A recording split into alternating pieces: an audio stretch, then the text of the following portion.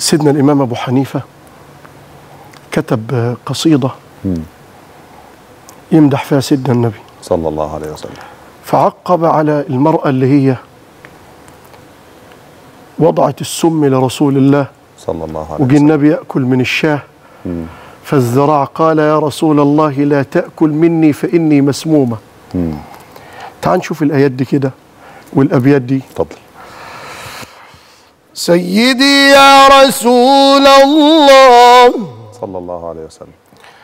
أنت الذي نطق الزرع باسمه لك معلن.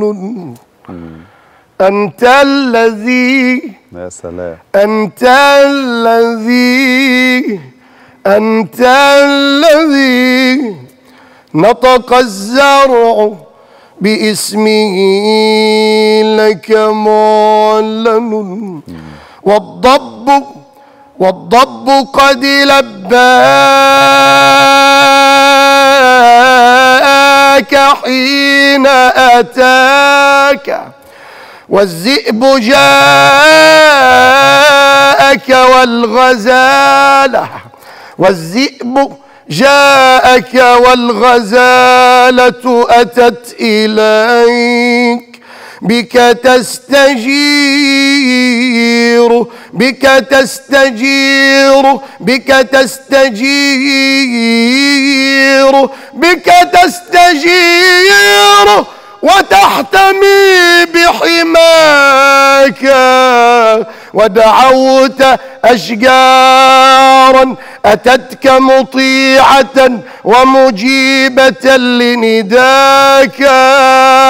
أنت الذي لا أثر لمشيك في السرى وقد غاصت وقد غاصت وقد غاصت في الصخر قدماك. أنت الذي عليك ظللت الغمامة أنت الذي عليك ظللت الغمامة في الورى. والجزع قد حن إلى كريم لقاك. أنت الذي سألت ربك فينا شفاعة فناداك يا محمد فناداك يا محمد فناداك فناداك أنت الذي سألت ربك فينا شفاعة فناداك يا محمد لم تكن لسواك. صلى الله على محمد صلى الله عليه. عليه وسلم. اسمه مقرون. صلى الله صلى عليه الله عليه وسلم. صلى الله لا إله عليه. إلا الله محمد رسول الله. انت بتفتح لي حاجات جميلة والله. حبيبي يا مولانا. أغر علي. أغر علي. أغر عليه للنبوة خاتم. خاتم.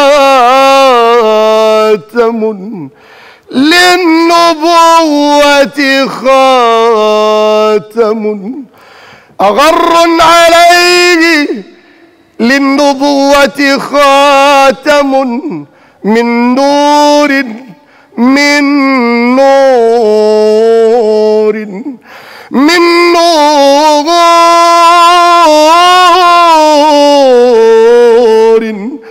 يلوح ويشهد أغر عليه للنبوة خاتم من نور يلوح ويشهد وضم الإله وضم الإله وضم الإله. وضم الإله اسم النبي إلى اسمه.